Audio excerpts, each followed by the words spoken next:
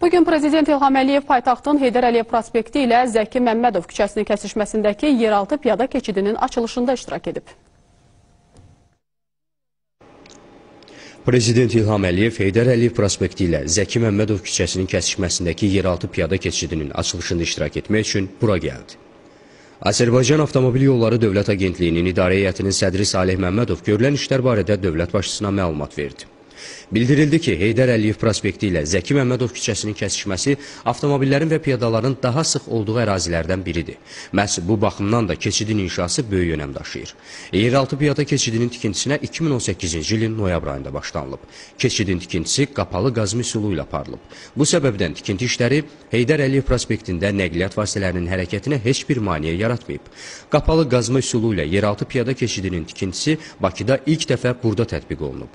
Piyada keçidinin ümumi uzunluğu 98, eni isə 5 metrdir. Burada müasir işıqlandırma və video müşahidə sistemi qurulub. Keçid Heydər Əliyev prospektinin bu hissəsində nəqliyyatın hərəkətinin tənzimlənməsi, avtomobil tıxaclarının qarşısının alınması, qəza hallarının aradan qaldırılması və piyadaların hərəkətinin təhlükəsizliyinin təmin edilməsi baxımından xüsusi əhəmiyyət daşıyır. Tuneldən istifadə hərəkətin intensiv olduğu ərazidə yol hərəkəti qaydalarının pozulması hallarını aradan qaldıracaq.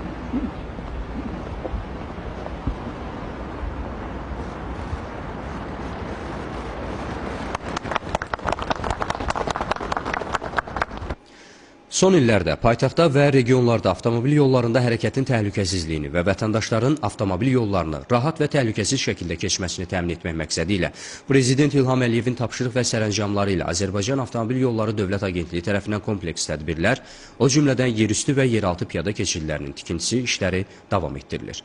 Bu çərçivədə həyata keçirilən məqsədyönlü tədbirlərin məntiqi nəticəsi olaraq yol nəqliyyat kompleksinin ayrı-ayrı qurğuları yüksək keyfiyyətlə istismara buraxılır. Yeni yol qovşaqlarının, körpülərin, yeraltı və yerüstü keçidlərin inşası Bakıda tıxac probleminin aradan qaldırılmasına və əhalinin rahatlığının təmin edilməsinə yönəldilib. Bu həm də onu deməyə əsas verir ki, vətəndaşların rahatlığının təmin edilməsi, insanların sosial həyat şəraitinin daha da yaxşılaşdırılması, ölkəmizdə yol nəqliyyat infrastrukturunun yüksək standartlara uyğun şəkildə yenidən qurulması Prezident İlham Əliyevin daim diqqət mərkəzindədir. Bu baxımdan paytaxtda və ayrı-ayrı regionlarda geniş miqyaslı infrastruktur layihələri həyata keçirilir şəhər və qəsəbələrdə abadlıq və quruculuq tədbirləri davamlı olaraq icra olunur. Bu çərçivədə 2018-2019-cu illərdə Bakı və şəhər ətrafı yollarda, həmçinin magistrallarda 7 yerüstü və yeraltı piyada keçidi inşa edilərək istifadəyə verilib. Hazırda 8 ərazidə yerüstü və yeraltı piyada keçidinin inşası aparılır ki, bunlardan bir neçəsində işlər bitmək üzrədir. Qısa müddət ərzində daha 6 yerdə yeni keçidlərin inşasına başlanılması nəzərdə tutulub.